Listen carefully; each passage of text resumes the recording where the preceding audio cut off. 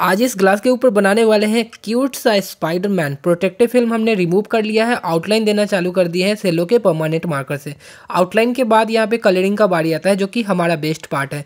दोस्तों, इस तरह के ड्राइंग अगर आप ट्राई करना चाहते हो तो इस ग्लास का लिंक हम दे रहे हैं पेन कमेंट में, वहाँ से आप परचेज कर सकते हो और आप भी बना सकते हो। ये एक ग्लास पेंटिंग है, जो कि नॉर्मल पेंटिंग से काफ़ी डिफरेंट है। हमारा पेंटिंग जो बन रहा है, वो ग्लास के अपोजिट साइड बन रहा है। जब इस पेंटिंग को कंप्लीट कर लेंगे, तब पलटेंगे, तब जा करके देखोगे फाइनल रिज़ल्ट तो दोस्तों फाइनल रिज़ल्ट देख करके ही जाना। इस पेंटिंग को रियलिस्टिक इफ़ेक्ट देने के लिए कहीं पे लाइट सेड हमने यूज़ किया है तो कहीं पे डार्क सेड यूज़ किया है, जिससे हमारा पेंटिंग रियल जैसा दिखने वाला है। दोस्तों ब्लू वाला कलर कर लेंगे, फिर उसके बाद जो रेड पोर्शन बच रहा है, वो कलर हम करने वाले हैं।